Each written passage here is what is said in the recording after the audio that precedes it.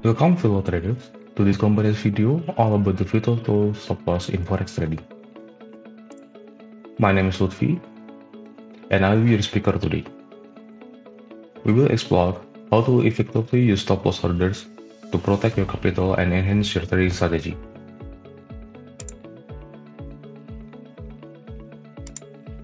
We'll be discussing about what is stop loss, how to set a stop loss based on a percentage of your account, how to set a stop loss based on a support and resistance from chart, how to set a stop loss based on price volatility, how to set a stop loss based on a time limit, uh, and mistakes when using stop loss. And the last is rules to follow when using stop loss. Understanding stop loss. Let's begin with the basics. A stop loss is an order placed with your broker to automatically close a trade when it reaches a certain price level. It is a critical risk management tool that helps you limit potential losses in the volatile forex market. A well-placed and effectively managed stop loss order is an essential tool for traders to protect their capital and manage risk. It is a critical component for a comprehensive trading plan, along with other risk management techniques like position sizing and setting profit targets.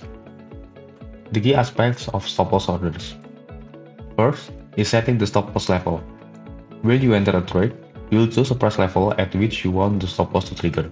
This level is typically determined based on your trading strategy, risk tolerance, and technical analysis. For example, if you're buying currency pair at 1 and 3000, you may set a stop loss at 1 and 2950 to limit your potential loss to 50 pips. The next is risk management. The primary purpose of stop loss is to manage risk.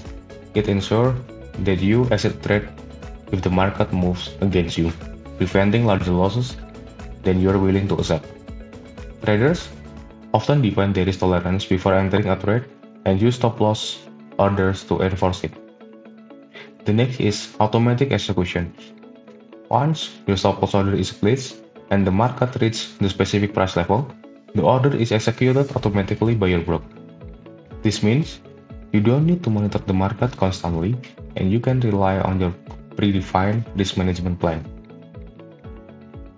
The next is volatility considerations. The distance between your entry point and your stop loss level should consider the typical volatility of the market you are trading. More volatile markets may require wider stop loss levels to avoid being prematurely triggered by normal price fluctuation. The next is position size. Your stop loss level should be factored into your position sizing. This means that if your stop loss is set at a certain price level, you should calculate the position size so that if the stop loss is hit, you only lose a predetermined amount of trading capital based on your tolerance. The next is adaptability. It is important to resist and possibly adjust your stop loss levels as the trade progress and market conditions change. You may choose to tighten your stop loss to lock in profits or adjust it to reduce potential losses if the trade is moving against you. The next is avoid emotional decision making. One of the key benefits of stop loss orders is that it helps traders avoid emotional decision making. It involves discipline by automatically executing the trade when the predetermined level is reached, preventing the temptation to hold onto a losing positions in the hope that it will turn around. The last is slippage.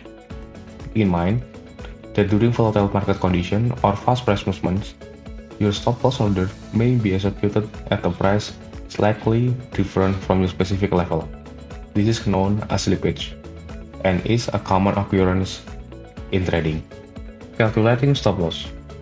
One popular approach is setting stop loss based on a percentage of your trading account. It is a risk management technique in trading that allows you to determine the stop loss level as a percentage of the asset's current price.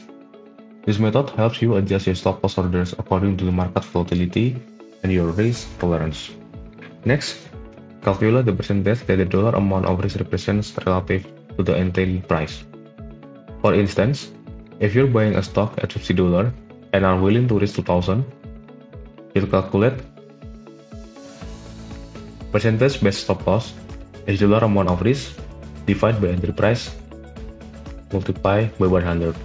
For instance, if you're buying currency at $50 and are willing to risk 200, you calculate percentage based stop loss is 200 divided by 50 and multiply by 100, which is 4% stop loss. Utilizing support and resistance for stop loss. Technical analysis can help you set stop loss level based on a support and resistance level from your charts. Placing your stop loss just below strong support level can help protect your trade from sudden price reversals. Here's a step-by-step -step guide on how to set stop loss using support and resistance levels. The first is identify support and resistance levels. Examine the price chart of the currency pair you're trading. Look for areas where the price has previously encountered barriers or reversals. These areas can be identified as support and resistance levels. Support level are price level where the market has previously found buying interest and pushed the price higher. Resistance level are price level where the market has encountered selling interest and pushed the price lower. Determine the trade direction. Decide whether you are entering a long or short trade. If you are going long, focus on identifying nearby support level that can serve as potential stop loss locations.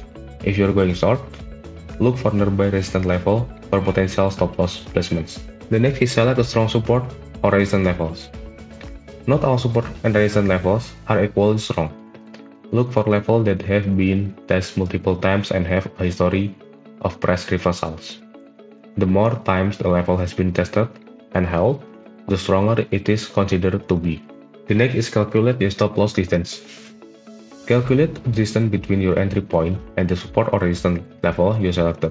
Ensure that the stop loss distance is appropriate for your risk tolerance and trading strategy.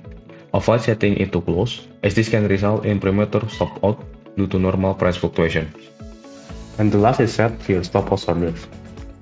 Place your stop loss order at or just beyond the selected support or resistance level. If you are going long or buying, place your stop loss slightly below a relevant support level. If you're going short or selling, place your stop loss just above a relevant resistance level. Ensure that the stop loss order is within your acceptable risk parameters. Typically, a predetermined percentage of the trading capital. Setting a stop loss based on price volatility. Setting stop loss based on price volatility is a crucial aspect of risk management in forex trading.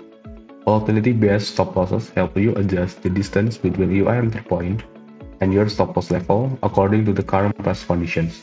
Here's how to set a stop loss based on price volatility. Assess market volatility. Begin by analyzing the current volatility of the currency pair you're trading. Volatility can be measured using indicator like average true range or ATR or by observing recent price movements. High volatility implies larger price swings, so you may need to set wider stop losses.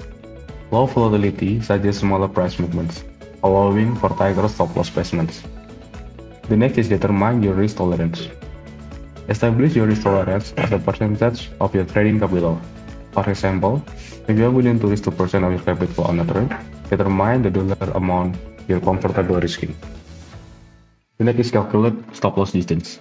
Calculate the stop loss distance by multiplying the volatility measures by a multiple that aligns with your risk tolerance. The next is place the stop loss order. Set your stop loss order at the calculated distance from your entry point. Ensure that the stop loss level is strategically placed to provide a reasonable buffer against the price fluctuations while still aligning with your risk tolerance. And the last is review and adjust. Regularly review the market conditions and your trade to assess if the volatility has changed significantly. If volatility increases or decreases substantially, consider adjusting your stop loss accordingly. You can also consider trailing your stop loss as the trade moves in your favor to lock in profits while accounting for changing volatility. Calculate price volatility based stop loss. Stop loss distance is ATR multiply by risk multiple. With ATR, average true range, or by observing recent price movements. For instance, if the ATR is 50 pips, and you are willing to risk 2% of your capital on the trade, stop loss distance is 50 pips multiplied by 2%, which is 1 pips, uh, multiplied by 50, and that is 100 pips. How to set a stop loss based on a time limit. Some traders use time-based stop loss.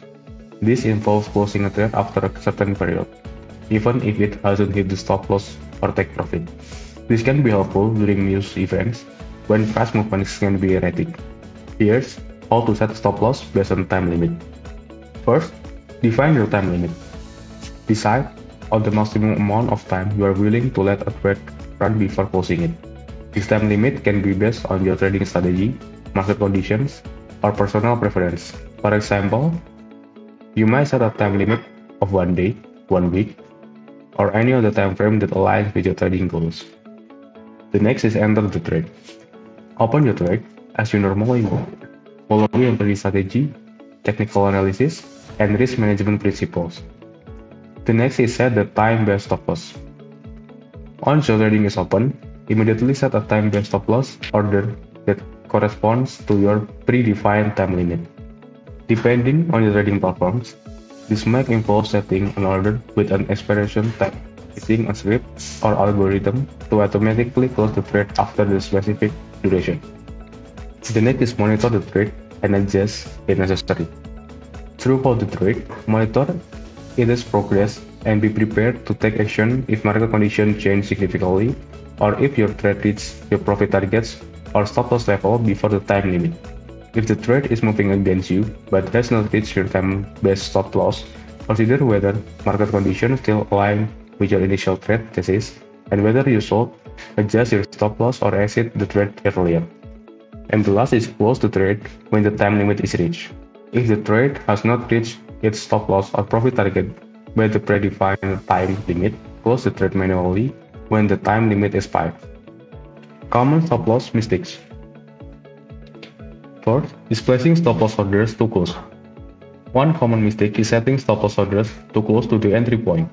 This can result in the orders being triggered by normal market fluctuations, leading to premature exits from trades.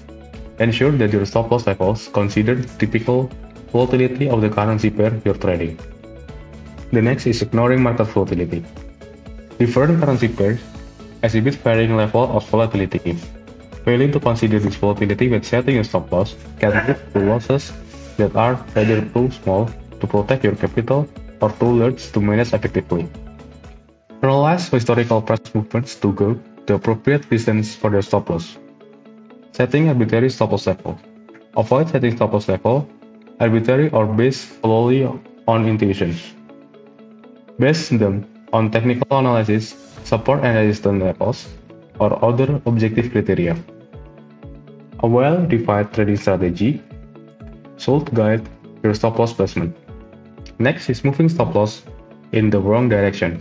Some traders make the mistake of moving their stop loss orders further away from their entry point once a trade is open, hoping that the market will turn in their favor. This can lead to large losses if the market continues to move against them. Stick to your initial stop loss placements unless there is a valid reason to adjust it. The next is not using stop loss orders. Some traders not to use stop loss orders at all, thinking they can monitor the market closely and exit trades manually. This can be risky because unexpected events or market gaps can lead to significant losses before you have a chance to react. Always use stop loss orders to automate risk management. The next is over leveraging. Excessive use of leverage can lead to larger losses than anticipated. If you don't consider the potential impact of leverage on your positions, even a small price movement can trigger a significant loss. Ensure your position size and leverage align with your risk tolerance and trading strategy. Next is not adhering to stop loss levels. Discipline is a crucial in trading. Some traders Ignore or delay executing the stop loss orders when the market moves against them, hoping for a reversal. This can lead to catastrophic losses if the market continues to move in the wrong directions. Always adhere to your predetermined stop loss level. The next is using inadequate position sizing. Position sizing is closely related to stop loss placements. Failing to adjust your position size based on your stop loss level can result in risking too much capital in a single trade or not taking advantage of favorable risk-reward ratios. The next is setting too tight or too wide stop loss orders. Striking the right balance between a tight and wide stop loss depends on your trading strategy and the specific trade. Setting stop loss orders too tight may result in many small losses, while setting them too wide can lead to significant losses if the market reverses. The last is ignoring news and economic events. Economic release and unexpected news events can lead to sudden and sharp market movements. Ignoring economic calendars and not considering the timing of significant news release can lead to stop loss order being triggered unexpectedly. Essential stop loss rules. There are some fundamental rules to remember when using stop loss orders. Always determine your stop loss before entering a trade to maintain discipline. Also, don't move your stop loss further away from your entry point after entering the trade. Practice emotional discipline. Emotional discipline is crucial. Don't let fear or greed influence your stop loss decisions. Stick to your predefined strategy and avoid market impulsive adjustments. And adjusting stop losses as market conditions change. The forex market is dynamic, so your stop loss strategy should adapt as your trade progresses and new market information emerges. Consider adjusting your stop loss to lock in profits or protect against losses. Importance of backtesting and learning. Backtesting your stop loss strategy using historical data can help you assess its effectiveness. Learn from your mistakes and successes to fine-tune your approach over time. To work things up, a well-placed stop loss is your safety net in the forex market. Whether using percentage-based methods, technical analysis, volatility, or time-based approach, mastering the art of stop loss placement is the key to successful trading. That's for today's video, and keep trading.